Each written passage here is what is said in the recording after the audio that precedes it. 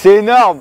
On est dans Wildlife en direct sur Brut au cœur de la baie de Somme. C'est un petit épisode bonus, mais quand même, on voulait vous faire partager ça. Parce que là, je suis sur le marais, à l'intérieur de la baie, donc la rivière Somme est pas loin. Et moi, là, je suis sur des champs où ont été mis à pâturer ben, des races très rustiques. Donc, c'est les vaches Highland qui sont là, les chevaux Henson au loin et plein d'oiseaux partout autour de nous. Donc, c'est quand même un moment assez spécial et se retrouver là en direct depuis les marais. Puis j'ai un petit crachin Pourtant, il y a des trous de ciel bleu autour de moi, c'est quand même assez énorme.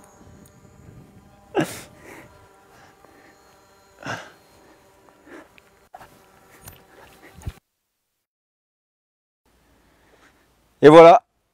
Et là, on est en présence d'une race très particulière de vache qui a une tête quand même hallucinante. On voit un petit veau là qui est au milieu de, de sa harde familiale. Donc ça, ce sont des Highlands. C'est une vache qui vient du nord de l'Écosse, donc des hautes terres telles que son nom l'indique. Et la vache des Highlands, elle est très très adaptée à ce genre de milieu.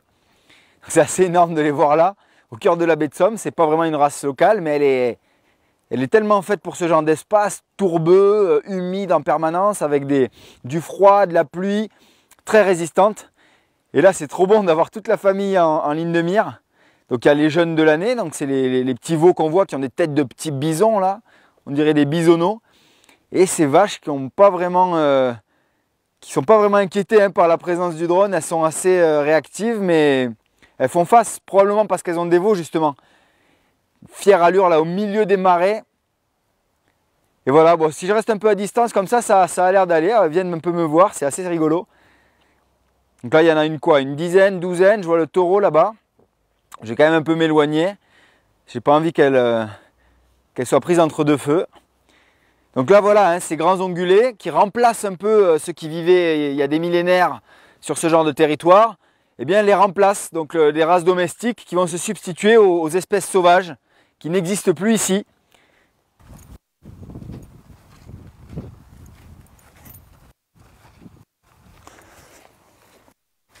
La béton, c'est ça aussi, hein. c'est des, des pâtures euh, marécageuses avec euh, pas mal d'eau, mais qui vont être euh, quand même régulées par les hommes, ces niveaux d'eau, par l'ouverture ou la fermeture de vannes.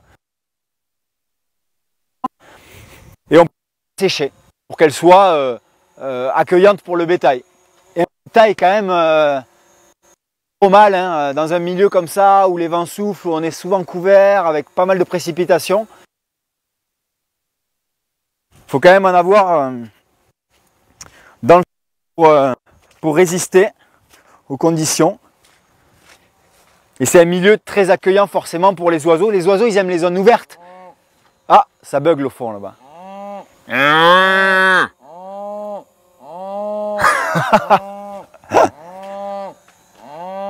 Mais quoi? Donc on est en direct et on est très content de vous partager ça, de vous faire partager un, une émotion sauvage et domestique à la fois. Hop, ça reprend le, petit galop. Ah, c'est super là, hein, quand elle passe dans l'eau. Elle s'enfonce pas, c'est assez étonnant parce que moi, quand je passe dans l'eau, j'ai l'impression que je m'enfonce. Il faut croire que le poids de ces gros animaux est, bien réparti. Ils doivent avoir des sabots larges et bien adaptés à ces sols euh, spongieux. C'est une vraie éponge, hein, la baie de Somme. Alors là, on est vraiment sur les marais arrière littoraux, donc on est sur des, milieux de marais, de marécages, mais euh, bien sûr, la baie de Somme, ce sont aussi tous les sables, toutes les zones d'ensablement, qui d'ailleurs s'ensablent et s'ensablent de plus en plus, ce qui euh, menace la biodiversité. Heureusement, il y a ces marais qui prennent le relais à l'intérieur des terres et qui vont être une zone d'accueil à marée haute pour tous les oiseaux qui viennent comme ça euh, rejoindre les, les vaches des Highlands sur le marais Picard sacrée tête, hein, ces petits veaux. Ils ont la, face complètement enfouie dans un gros poil. Mais ça, ça les protège forcément du froid, euh, de la pluie, de l'humidité. Ils n'ont pas l'air malheureuses en tout cas. Et là, on voit même pas les clôtures. Et là, j'ai un super point de vue, là, bien sûr, sur tout ce marais, qu'on est hyper content de vous, montrer en direct. C'est assez quand même euh, sensationnel de se dire qu'en France, il y a encore des espaces comme ça. On est en, en Europe occidentale et on a encore accès à ce genre de vue euh, avec, si on est un peu, euh, si on connaît un peu la mosaïque de l'endroit, ben, des bois, des marais, des cultures, des zones qui sont chassées, donc euh, entretenues aussi par les chasseurs, des zones agricoles de production, et puis quelques habitations comme ça parsemées dans le marais. les vaches, elles sont perplexes, mais elles se sont habituées à notre présence et ça a l'air de, ça a l'air de cohabiter. De nuances de vert. Hein. On, a des, on a des roux, des fauves, des verts qui, ressurgissent de temps en temps, du jaune, jaune jaunâtre un peu. Voilà, quand on arrive sur les roselières, on a, ce, on a vraiment ce patchwork. C'est très très rigolo. Et voilà, les rois de l'endroit, ce sont les, les, rois des oiseaux ici, ce sont les, les cygnes tuberculés sur le miroir d'eau. Souvent en couple, hein. souvent en couple qui peuvent voisiner aussi avec, euh, avec euh, d'autres espèces d'anatidés. Donc on a, les, on a les canards. Et un train qui passe au loin. Donc voilà, on a la présence humaine qui est quand même toujours par là, puisque les milieux naturels en France, ils sont, comme on dit, anthropisés. C'est-à-dire que voilà, il y a, y a une forte influence, il y a des constructions, il y a des ondes. Euh, voilà, l'humain est partout. Hein. Le, vrai sauvage euh, ne veut plus dire grand-chose en, France, mais voilà, on a, on a aussi ces, ces, enclos là où vont vivre des appelants qui servent pendant les périodes de chasse. bien sûr, nous, on n'est pas là pour ça. On est là pour observer la vie sauvage et domestique qui interagit ici de manière assez unique. Hein. On a plusieurs formes d'étangs, d'ailleurs, on a des sortes de lacs comme ça on a des bras d'eau, on a des fossés qui regorgent d'eau. C'est un milieu qu'on ne peut pas traverser comme ça en courant, euh, sauf si on s'appelle Vache Island. Là, ça marche.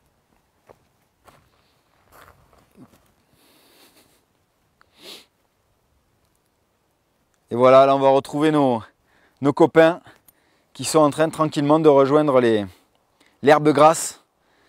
Ce sont les chevaux Henson qui sont là, bien présents. Voilà, avec le mufle, le nez clair presque blanc. Cette allure de, chevaux sauvages euh, pour une race finalement assez, assez récente. Donc là, ce sont des jeunes mâles hein, qui, qui, pèsent ici et qui sont regroupés pour la mauvaise saison. J'allais dire les pieds au sec, mais pas vraiment. Hein. Ils peuvent très bien aller mettre les jambes à l'eau. Et très regroupés comme ça, hein, comme les équidés sauvages. Le, cheval, c'est l'animal qui, euh, face aux prédateurs, ne se défend pas ou à part quelques coups de pied, euh, surtout va, prioriser la fuite. Et là, on le voit, il y a une petite, euh, voilà, une, une, un, fait inhabituel dans le, dans le, milieu, dans leur entourage, dans leur environnement. Hop, ils, vont se resserrer les rangs et, et avancer. Voilà, ils n'ont pas l'air trop, trop stressés. Ça trottine. Et cette belle crinière bicolore, je ne pensais pas qu'on la verrait aussi nettement, mais là, ça, ça transparaît assez bien on voit la raie de mulet sur le dos des, individus euh, et, on a cette, crinière euh, très particulière héritée du, fjord, hein, ce poney norvégien qu'on a utilisé dans les croisements pour obtenir le Henson, cheval de la baie de Somme.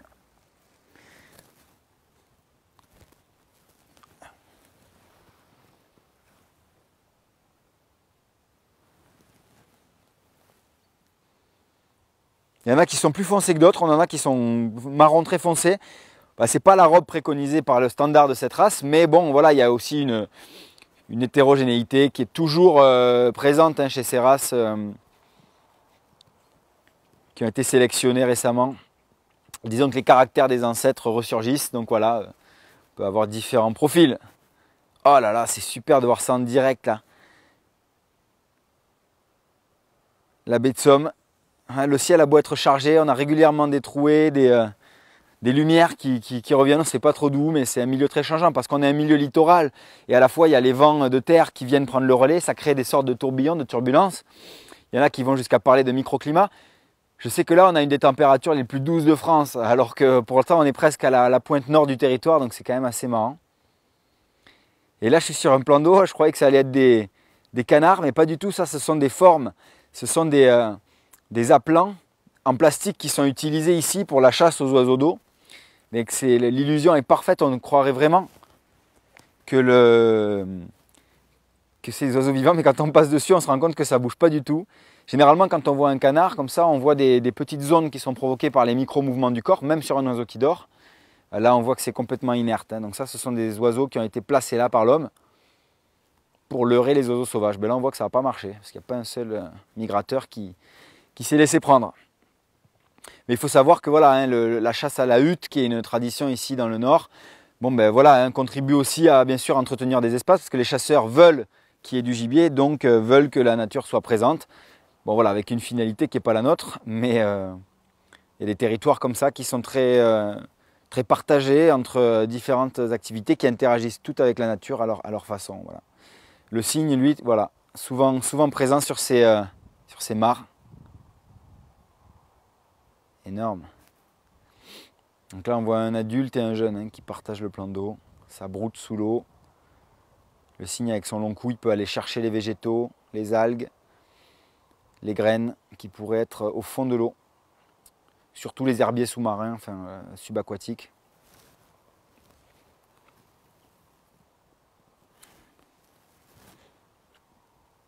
On peut avoir plein d'individus comme ça, hein, qui en hiver sont pas très territoriaux, alors que le cygne tuberculé qu'on va avoir dans nos villes et dans nos campagnes, bah, à la période de reproduction, oula, là, c'est très difficile de faire voisiner plusieurs couples. En général, ça se vole dans les plumes. Donc on va retrouver deux oiseaux par plan d'eau, pas plus, sauf sur les très grands, très grands plans d'eau. voyez les petits ronds autour du, cygne, là, on voit bien que c'est pas un faux.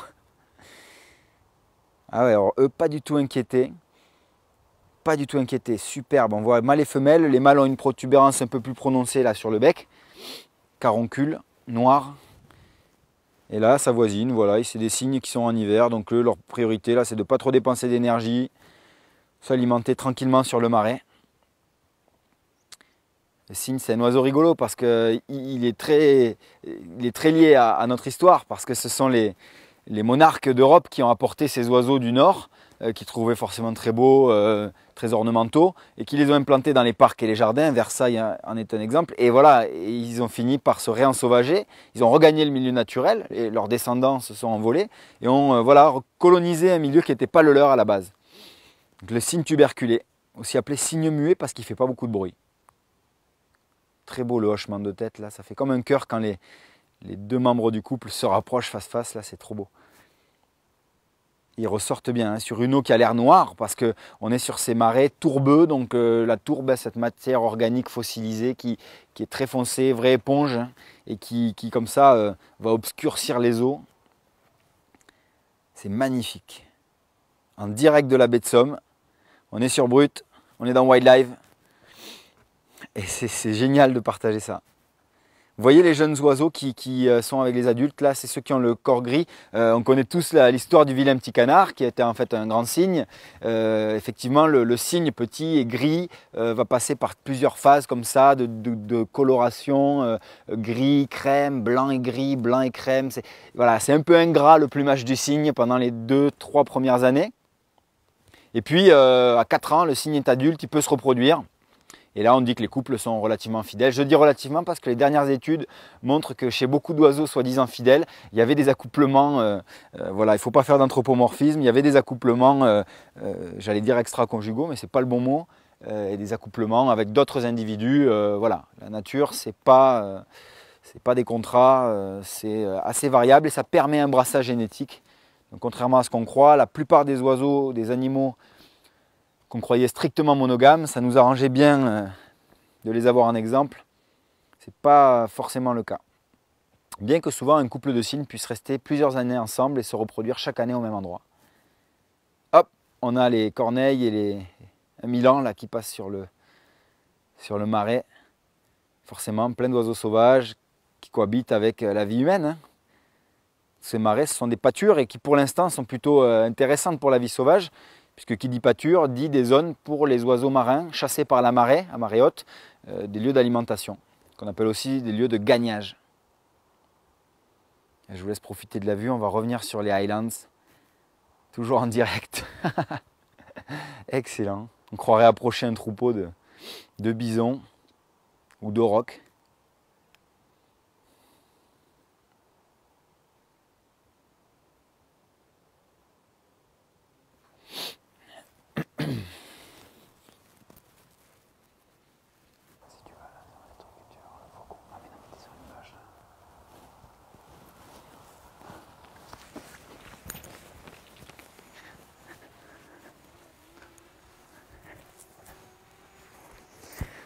Donc on est là, toujours sur la baie de Somme, en direct sur Brut. Euh, je voulais vous faire partager euh, dans Wildlife un peu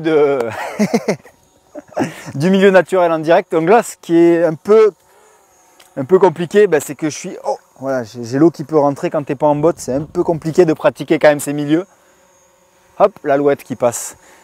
C'est assez drôle hein, parce que on se sent quand même vraiment au milieu du milieu. Quitte à répéter le mot, hop. Et ce qui est assez marrant, c'est qu'on va aussi avoir des espèces sauvages qui cohabitent complètement avec les espèces domestiques. Mais bon, moi je vais rester un peu au sec. On va essayer de faire encore un petit survol derrière la butte là-bas, parce que je crois qu'il y a d'autres plans d'eau, d'autres oiseaux éventuellement, d'autres bétails qui attirent les oiseaux. Hein. C'est souvent le cas parce que qui dit bétail dit euh, dérangement d'invertébrés, d'insectes, euh, voire de micro-mammifères, de rongeurs, qui peuvent intéresser les échassiers, les hérons, spatules, cigognes et, euh, et les aigrettes aussi. Et puis bien sûr les fameux hérons garde-bœufs qui sont parfois logés, juchés sur le dos du bétail. Là on voit des touffes hein, de carex, on voit des touffes de, de joncs. Donc c'est drôle, hein, c'est un milieu où la nature euh, reprend ses droits, mais c'est un milieu qui doit rester ouvert hein, pour exister parce que sinon c'est la forêt qui prend le relais. Donc c'est bien des milieux qui sont entretenus par des animaux et par des hommes. Aussi par des animaux sauvages, on peut croiser un chevreuil comme ça sur la plaine en train de brouter. Et tout ça, ça contribue à ouvrir un milieu pour avoir une, diversité de paysages en France, on dépend hein, de, de, cette biodiversité aussi domestique. Avant, la France était recouverte de forêts, donc c'est pas que c'était mieux ou moins bien, c'est que c'était euh, différent. L'homme qui fait partie de l'écosystème, quand il sait interagir en harmonie avec lui, contribue à une diversité de paysages et de territoires. Là, on est sur des vaches beaucoup moins intéressantes, là, mais bon, euh, qui sont vouées à une production d'abord laitière avec les, les Primolstein, là, ou des croisements noirs et blanches, et puis derrière des vaches à viande. Euh, ici, il peut y avoir des charolais ou des croisements. Donc voilà, on a plusieurs activités agricoles qui ne sont, pas, sont pas négatives hein, pour l'environnement, parce que, alors au-delà des, émissions, m'attarderai pas sur ça, mais quand même, ça permet de garder des espaces ouverts qui sont intéressants pour, les, pour la vie sauvage.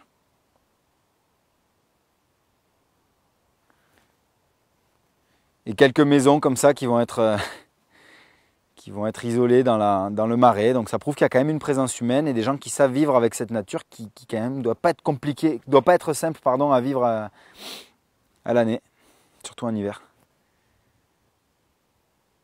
On peut pianoter un petit peu là pour voir ce qu'il y a sur les étangs. C'est des milieux de vie, mais c'est des milieux de calme et de quiétude. Hein. Ces grands marais. Et là-bas, au fond, on a la Somme et la baie de Somme qui, qui donne sur la Manche, hein, une des plus belles baies du monde, soi-disant. Pour l'instant, on n'est pas déçu. Et là, sur ces étangs, ben voilà, on va avoir comme ça des, des miroirs d'eau qui attirent hein, depuis les cieux les vols d'oiseaux migrateurs ou sédentaires qui vont euh, venir se reposer un peu. Là, je vois une tache blanche sur celui. Ah, le héron cendré là qui, euh, vole au ras de l'eau. C'est le plus grand héron de France, en tout cas le plus, massif un bel, beau héron qu'on peut croiser dans les centres urbains aussi, mais qui est surtout un opportuniste et qui peut s'alimenter d'un peu tout. On l'a même vu avaler des lapins, donc c'est pour dire. Il est très féru bien sûr de poissons, voire de gros poissons, euh, de rats, de, euh, qu'est-ce que ça mange des écrevisses, ça peut manger des grenouilles, euh, ça peut manger aussi les oisillons d'autres espèces. Donc voilà, le héron, il est joli, il est, il est pas si, il est pas si placide en tout cas dans son interaction avec les autres espèces. Voilà, superbe la barre, l'aile comme ça qui est gris, gris bleuté. À ah, lui, il n'est pas inquiété, il doit être chez lui. Donc en fait, il a l'impression qu'il joue avec le drone, hein. il nous a doublé là, il, repasse. Aucun problème. Voilà. Alors, le héron, c'est un des oiseaux les plus, les plus fréquents des plans d'eau en France, donc euh, c'est pas un oiseau menacé du tout.